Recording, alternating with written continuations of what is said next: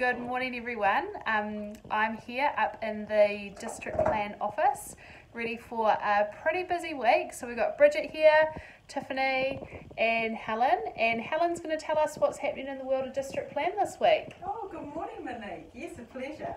It's a big week for the district plan this week. We've got um, four very important meetings starting on Wednesday with the key stakeholders to talk about our landscape and significant natural areas. And then on Wednesday afternoon, Thursday afternoon, and Friday morning, we're meeting with property owners who have these special areas on their on their own private property. And then we're finishing off the meeting on Friday afternoon with a get together with the utilities stakeholders as well. So a, a big week as we start to un, unroll the consultation on the plan. So, a uh, um, pretty big milestone for us as we start to talk more with our community about what this transformational project means for us around creating a thriving Central Hawke's Bay.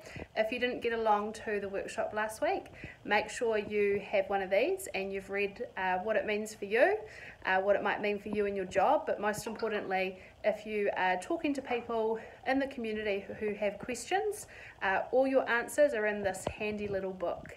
Have a great week.